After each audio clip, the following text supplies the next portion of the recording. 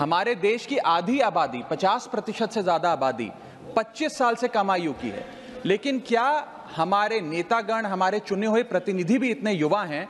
ये सवाल मैं आज आपके सामने रखना चाहता हूँ सर।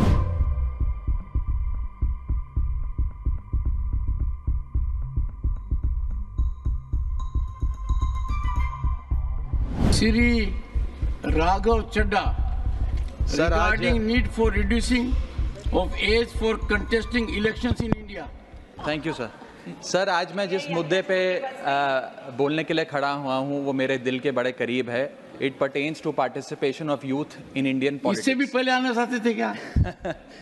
मैं बताता हूँ सर मैं क्यों ये मुद्दा उठा रहा हूँ। सर भारत देश इस दुनिया के सबसे युवा देशों में आता है। We are one of the youngest countries in the world हमारे देश की औसत उम्र मात्र उनतीस साल है। हमारे देश की पैंसठ प्रतिशत आबादी पैंतीस साल से कम आयु की है। हमारे देश की आधी आबादी, पचास प्रतिशत से ज़्यादा आबादी, पच्चीस साल से कम आयु की है। लेकिन क्या हमारे नेतागण, हमारे चुने हुए प्रतिनिधि भी इतने युवा हैं? ये सवाल मैं आज आपके सामने रखना चाहता हूँ, सर।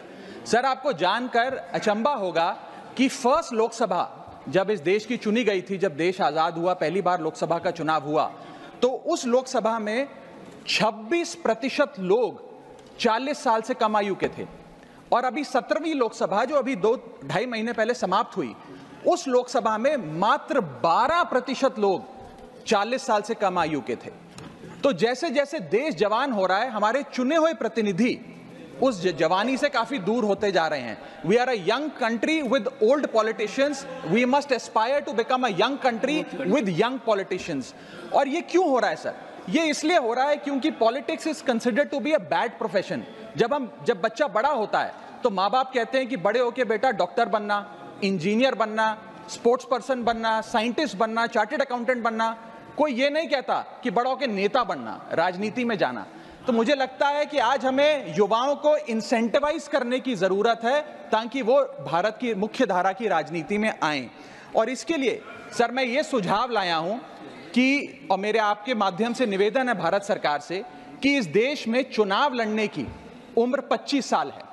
आप लोकसभा का चुनाव हो या विधानसभा का चुनाव हो वो चुनाव लड़ने के लिए आपकी कम से कम उम्र 25 साल होनी चाहिए।